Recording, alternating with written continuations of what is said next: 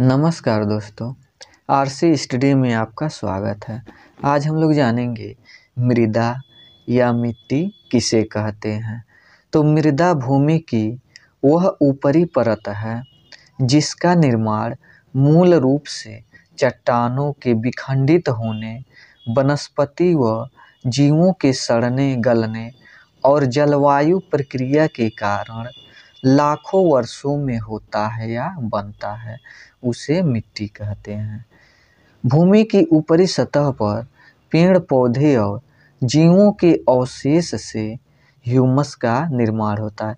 Humus के कारण ही जो मिट्टी होती है, वह उपजाऊ होती है। मिट्टी पर अध्ययन को, यानी मिट्टी के अध्ययन को पैडोलॉजी कहते हैं।